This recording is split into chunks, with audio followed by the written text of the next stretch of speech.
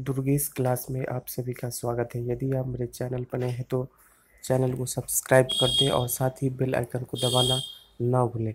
जानते हैं झारखंड कर्मचारी चयन आयोग का अपडेट। संयुक्त स्नातक प्रशिक्षित शिक्षा प्रतियोगिता परीक्षा 2016 आवश्यक सूचना प्रमाण पत्रों की जाँच का कार्यक्रम।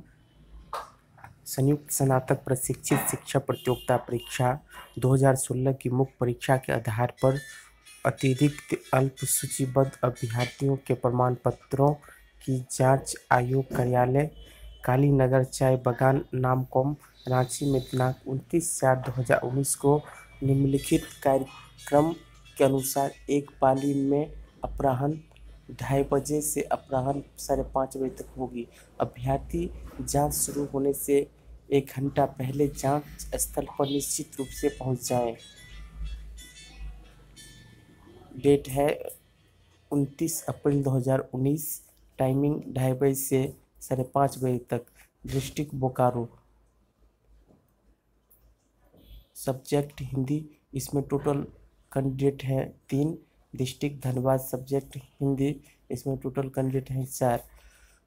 अभ्यर्थी जाँच हेतु उपयुक्त परीक्षा का मूल प्रवेश पत्र एडमिट कार्ड तथा निम्नलिखित प्रमाण पत्रों की मूल प्रति एक एक सौ हस्ताक्षरित छाया प्रति के साथ हाल में खींचा गया दो पासपोर्ट आकार का रंगीन फ़ोटो लेकर उपस्थित होंगे।